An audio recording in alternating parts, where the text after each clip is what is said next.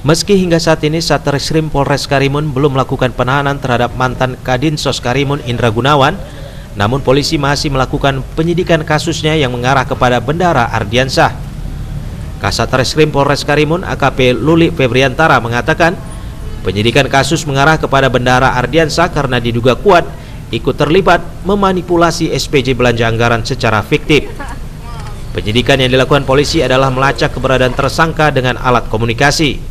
Polisi menduga kuat Ardiansa sudah melarikan diri ke luar negeri. Ya, kita lakukan penyelidikan keberadaan yang bersangkutan. Hmm.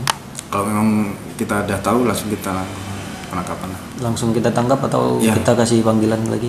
Kalau memang ada, kita langsung ambil, kita langsung periksa sebagai tersangka. Sebagai tersangka. Ya.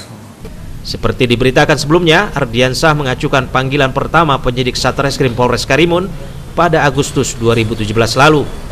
Mantan Bedara Indra Gunawan tersebut enggan diperiksa dan memilih berpergian ke Batam, Singapura, dan Malaysia. Iwan Mohan Ami Bagan, Tim iNews melaporkan.